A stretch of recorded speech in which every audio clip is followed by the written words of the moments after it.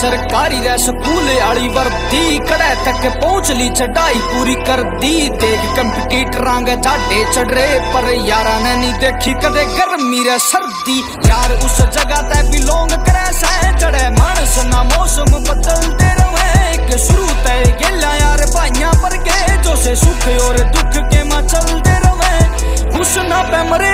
ਨਸ਼ੇ ਪੱਤੇ ਕਰੇ ਕੋਨੀ ਪੇੜ ਨੀਚੇ ਪੇੜ ਸੁਣੇ ਹੁੰਦੇ ਕਦੇ ਹਰੇ ਕੋਨੀ ਬੰਦੇ ਕੋਨੀ ਸਿੱਕੇ ਰਹਿ ਜਲੀਲ ਕਰਨੇ। ਅਰਮਾਨ ਕੋਨੀ ਸਿੱਖੇ, ਖੀਲ ਖੀਲ ਕਰਨੇ। ਮਾੜਾ ਟਾਈਮ ਬੇਰਾ ਨਹੀਂ ਰਹਿ ਕੇ ਕੇ ਕਰਵਾ ਦੇ ਖੁਦ, ਜੱਜ ਨੇ ਵੀ ਪੜ ਜਾ ਵਕੀਲ ਕਰਨੇ।